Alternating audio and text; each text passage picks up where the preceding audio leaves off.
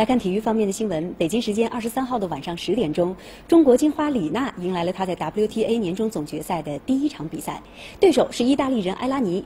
李娜呢延续了对埃拉尼的强势，顶住对手在第二盘末段的反扑，历时一小时四十六分钟，以六比三和七比六击败了对手，将对埃拉尼的全胜纪录扩大到了六场，收获了小组赛的开门红。李娜首场年终总决赛的对手是意大利选手埃拉尼。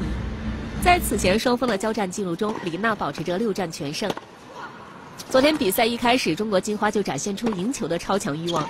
首盘在完成一次破发后，李娜以六比三占了先机。第二盘，意大利人埃拉尼展开了反扑，他完成破发并取得了三比一的领先。好在李娜并没有受到影响，她将比赛拖进抢七局，并以小分七比五拿下抢七，从而以二比零的总比分击败埃拉尼。取得年终总决赛的开门红。